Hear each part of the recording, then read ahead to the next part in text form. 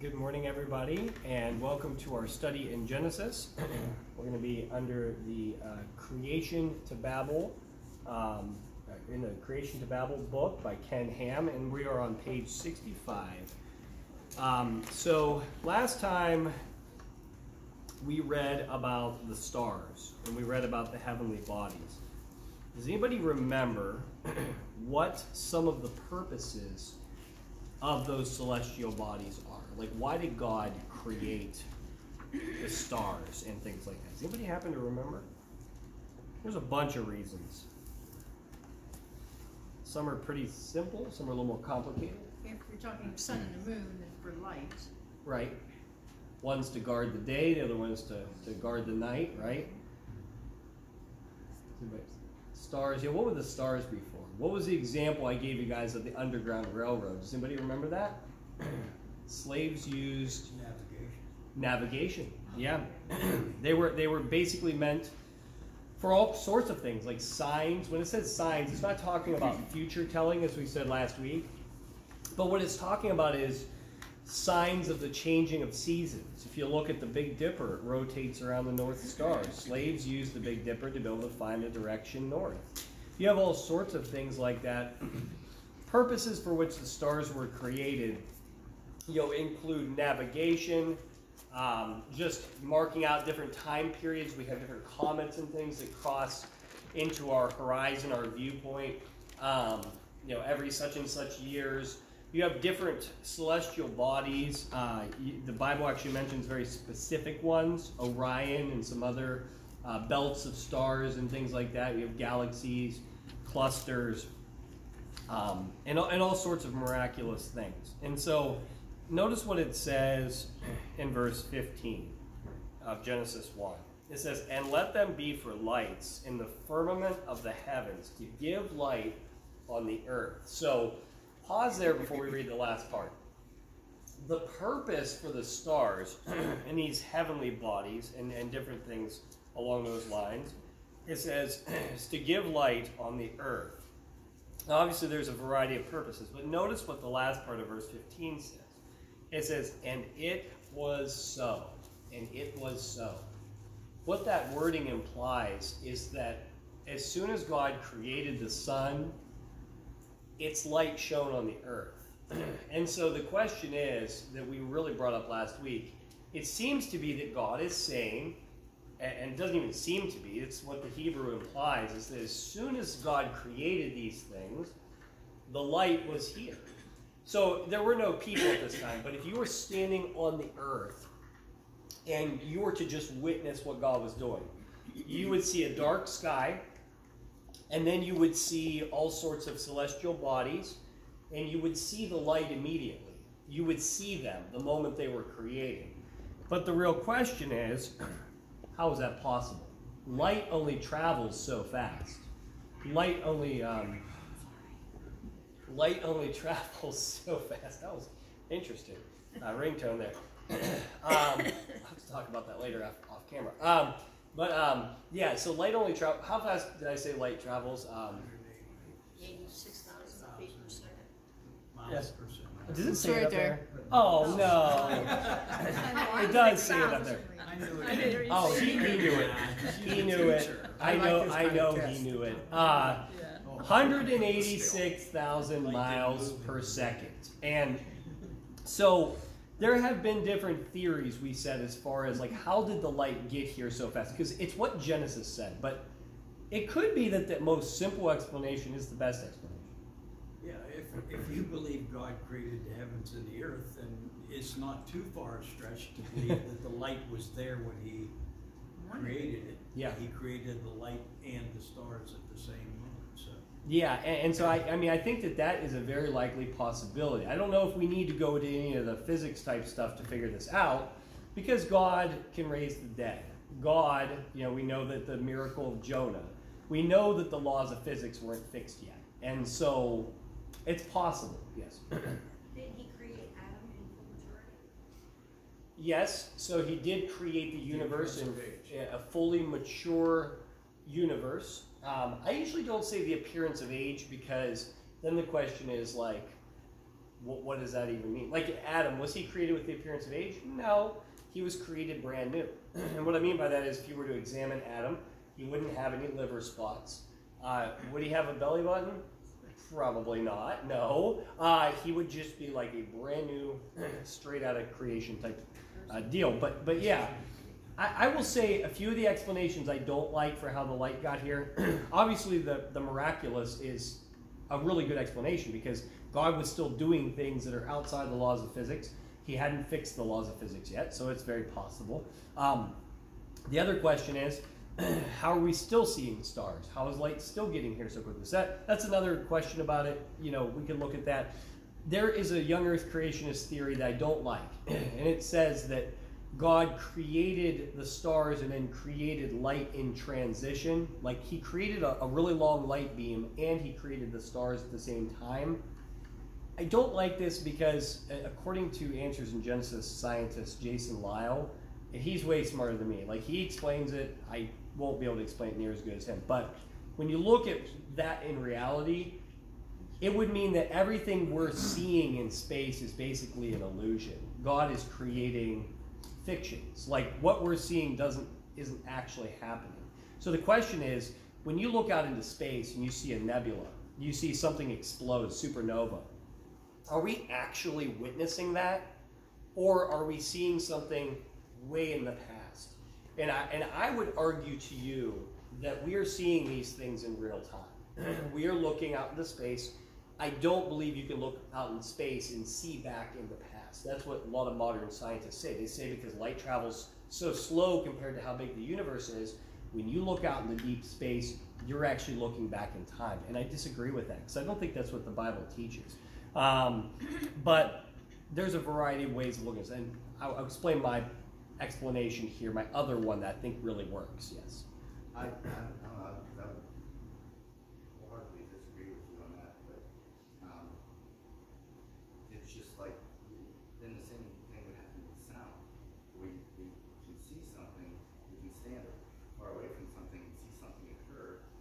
Yeah, so sound travels at a certain rate.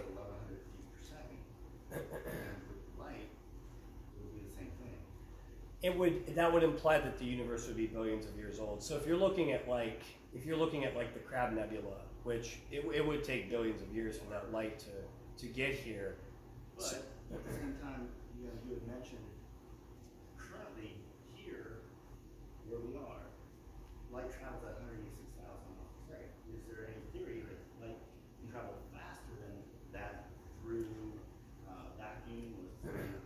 we're still learning about quantum physics. So, so you don't want to rule out completely that it's possible. Like I would say, when we look out into the space, I don't believe we're seeing billions of years ago.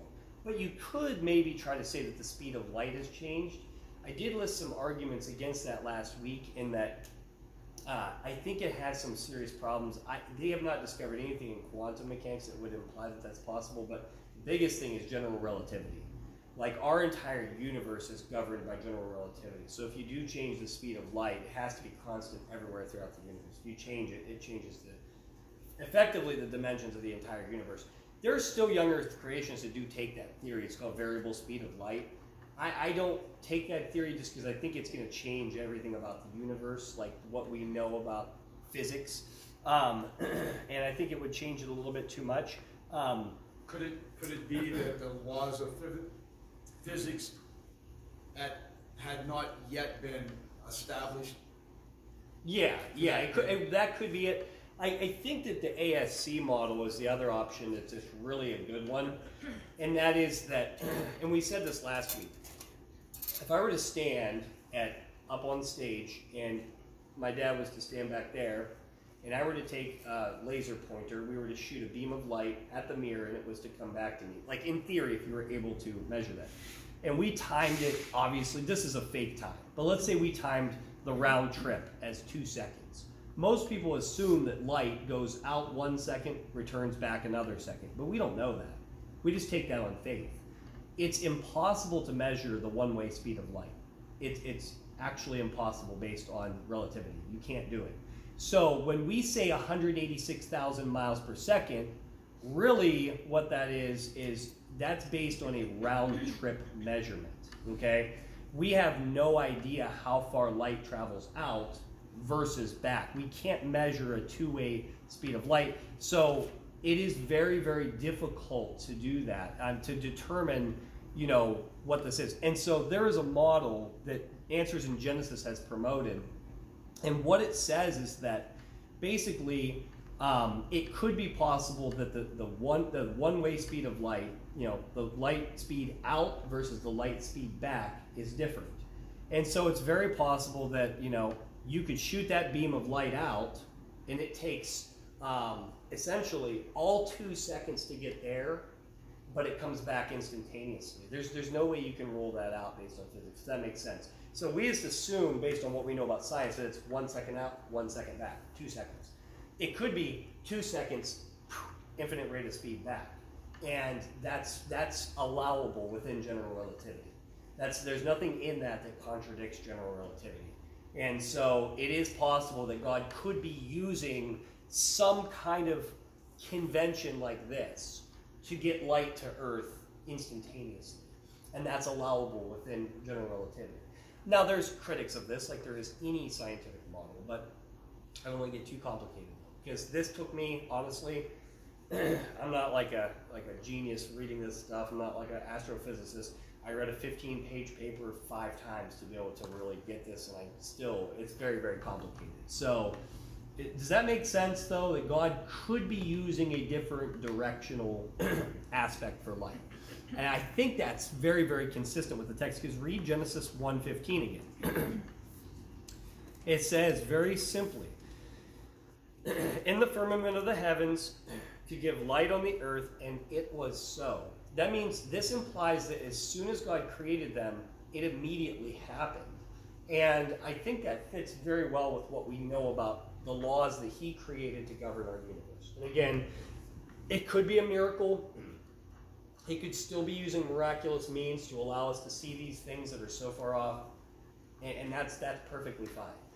I just think that for someone, you know, for, for old Earth creationists to basically look and say, we can look clear out into space and see clear back to the Big Bang, I think it's rubbish. I really do. I, I think that we as young Earth creationists do have good answers for that.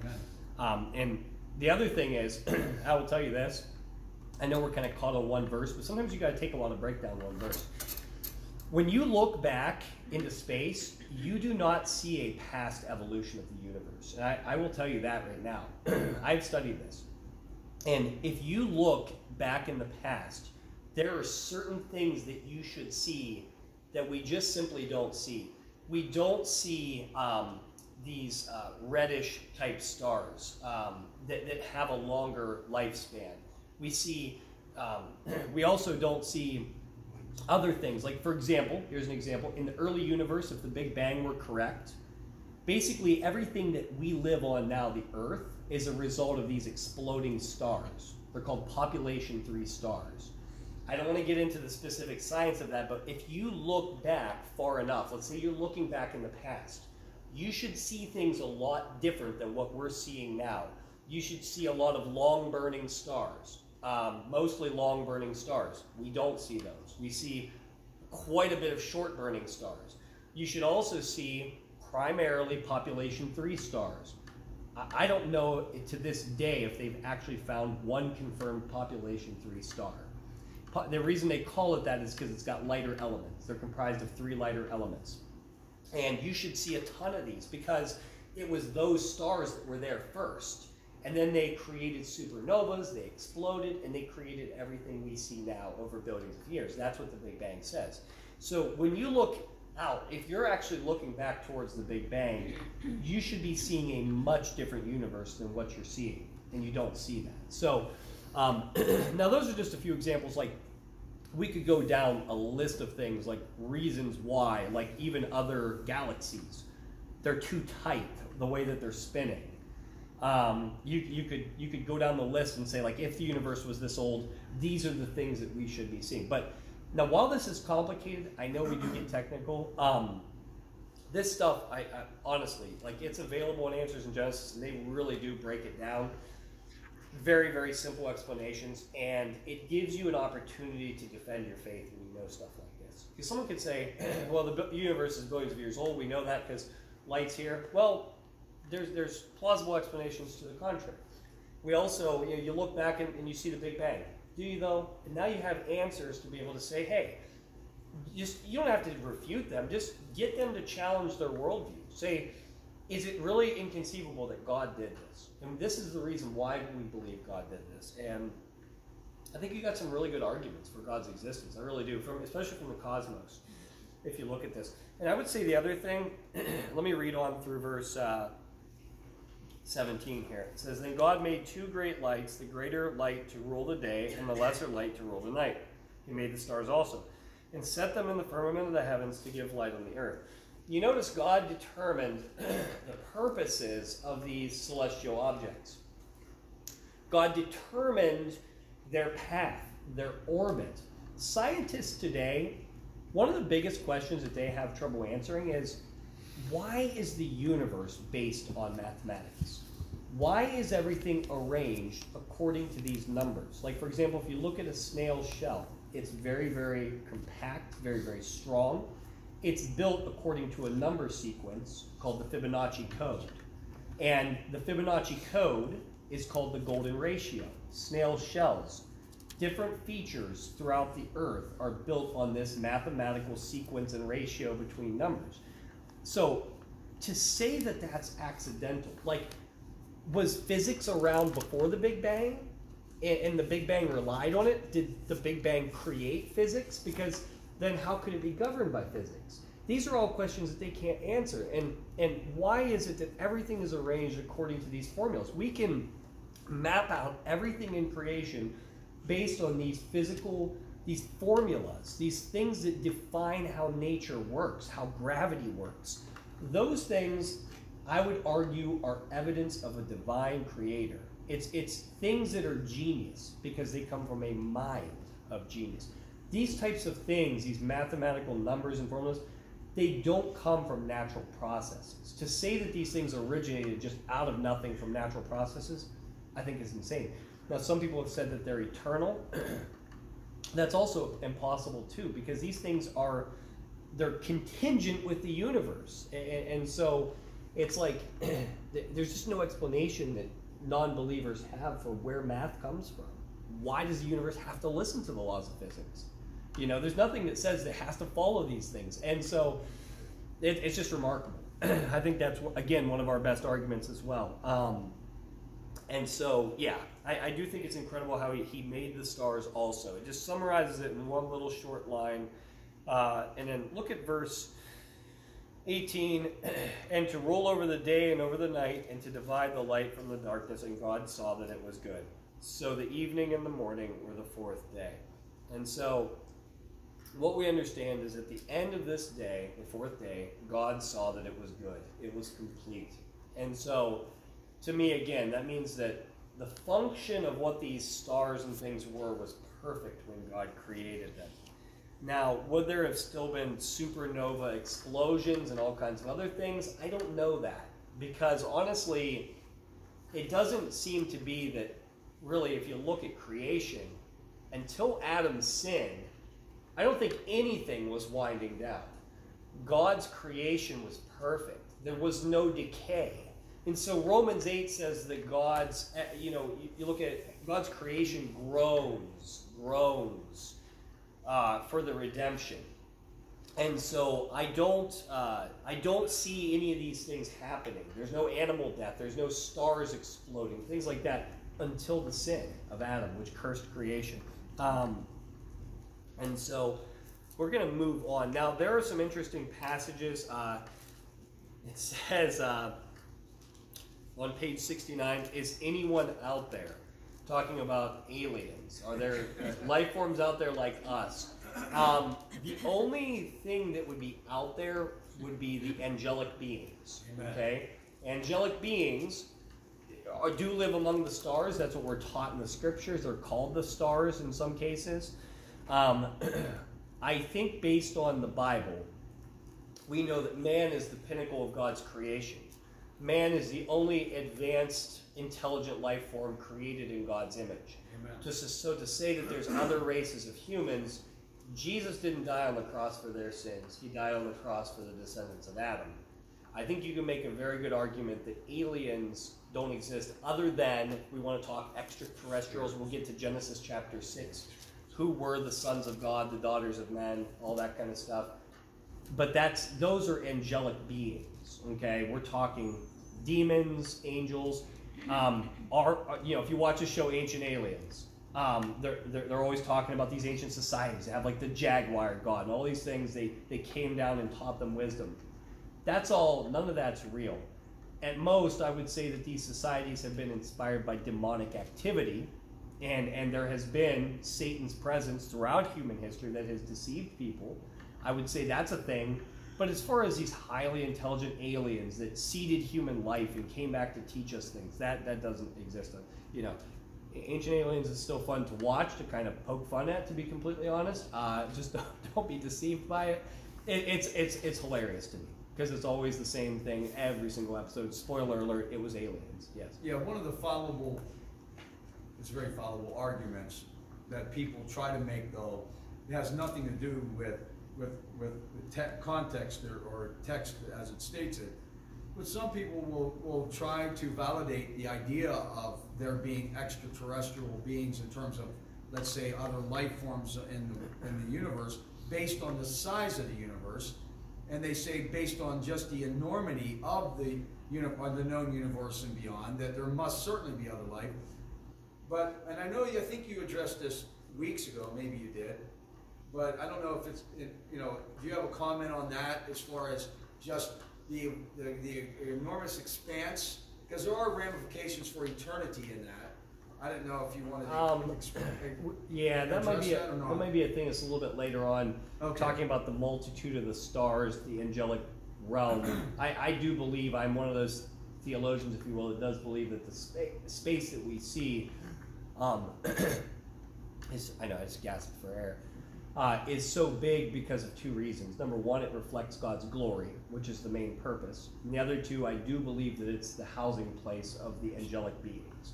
Because angelic beings are here as ministering spirits, as Hebrews 1.14 says. And so I do believe from the scriptures we can say that there are likely trillions and trillions of angels. And so I do believe that uh, that there is an aspect to that there that's kind of a different study. But um, I want to give you one other thing to consider before we move on to chapter 5. Uh, Matthew 2, 1 and 2. We're not necessarily going to turn there, but if you want to read the account of the wise men visiting uh, Jesus, that was probably, you could say, the biggest sign that was ever given. And that's a good example of what does it mean that the stars were given as signs. That's a great example. Now, was it a real star? Was it a combination of stars crossing over? I have no idea. That's not something we really want to split hairs over. I've heard interesting theories as far as both. If you watch the Nativity story, they take the theory that the different stars aligned, uh, you know, planets and stuff, and they cast light on the Earth. Um, some people say it was a miracle, just a miraculous star that existed at that time period and doesn't really exist anymore. I, I would maybe tend towards that. I don't know though. I have no idea. But I do know that God did use a star to show where Christ was. And that was the biggest sign of all because he's obviously the Savior of the world. And so that's the most important thing. Um, and a good example of what we mean by, by, by signs, not like future telling or astrology, you know, Libra versus your, your astronomical signs. Obviously, we know that's not biblical. Um, can somebody read verse? Uh, we're going to get on to day five here. Um, can someone read verse uh, 20 through 23?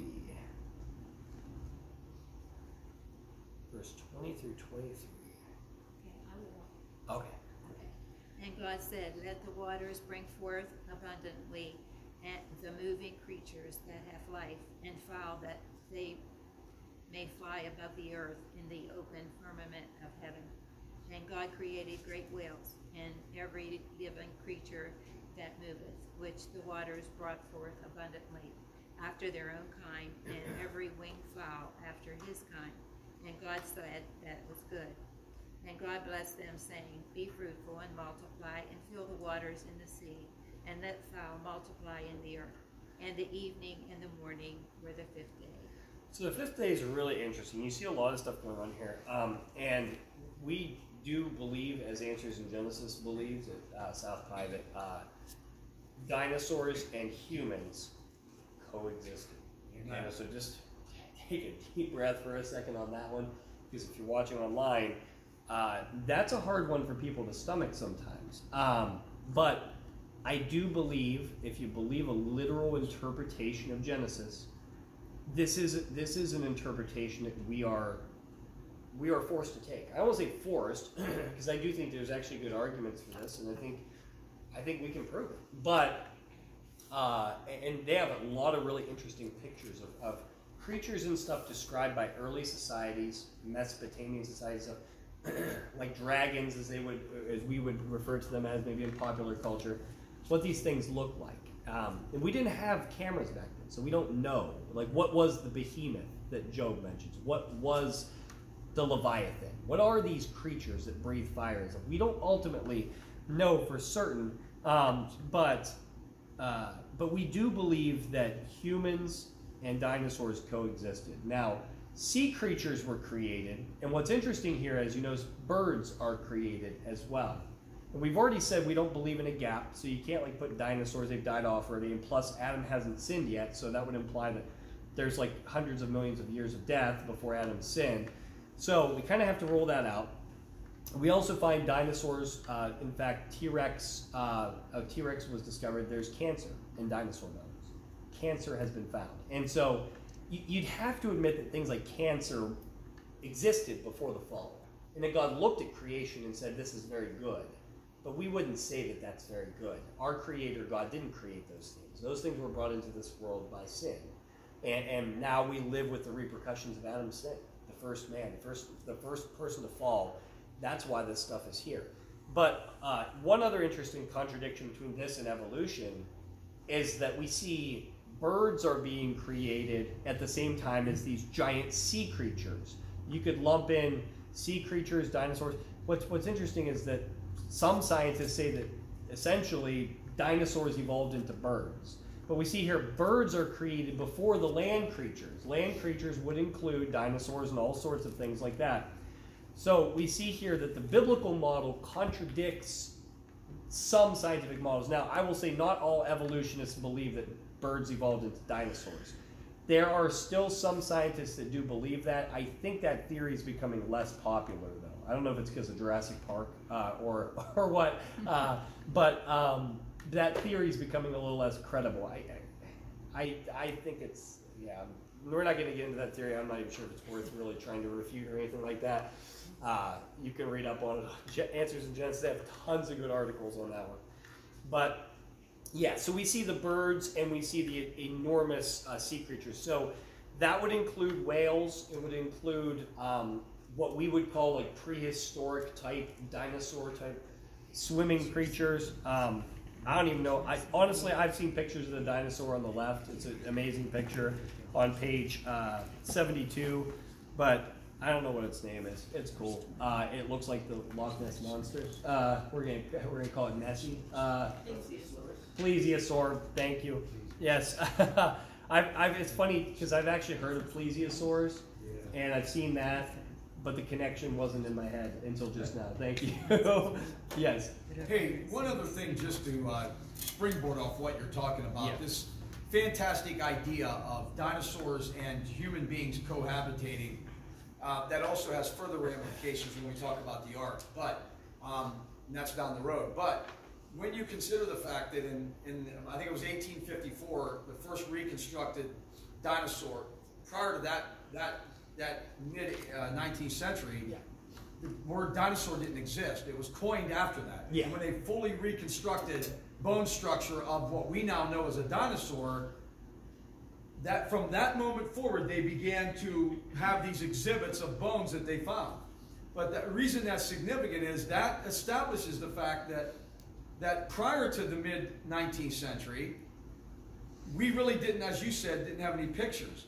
The only things we have are pictographs and other things where there are fully reconstructed or carved in stone things like stegosauruses and so forth that were done over a thousand years ago that that have never been reconstructed. The only way they could do that would be if they actually saw it. And I think it's actually It's very stunning. I think it's actually pretty hilarious that the movie Jurassic Park. I've heard scientists actually analyze it.